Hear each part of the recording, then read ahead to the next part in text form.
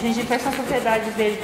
De que ele é bom? Para que ele é bom. Ele, É. principalmente, resumindo, ele para garganta, o estômago e o fígado, mas tem várias outras coisas, assim, como no caso de artrite, colesterol, hipertensão, regula, ah, a síndrome de intestinos irritado. E eu tomo um chá de gengibre porque ele ajuda a evitar o mal-estar ou o enjoo, que é a quimioterapia propõe. Tá, e como que a gente ah, usa ele assim? ah, Pode se pra- pôr na bala, enfim. Sim, é, o gengibre pode ser usado como formas de bala, em balas, xaropes ou chás.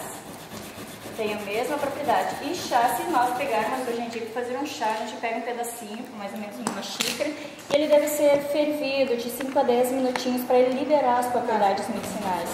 Porque ele é um, uma raiz, uma raiz, né? que nem casca, sementes, raízes, é o ideal é, é que ferva e cozinha de 5 a 10 minutinhos para liberar a substância, as partes medicinais da planta. Rizoma. E como tempero também vai, né? Também. alimento. Isso, e de preferência sempre ralado né, na comida, porque daí ele solta a propriedade mesmo. Senão dá aquele sabor picante, mas ele não, não tem muitos nutrientes, né? não libera os nutrientes. Pra quais Qual alimento puxar? que ele é bom na culinária?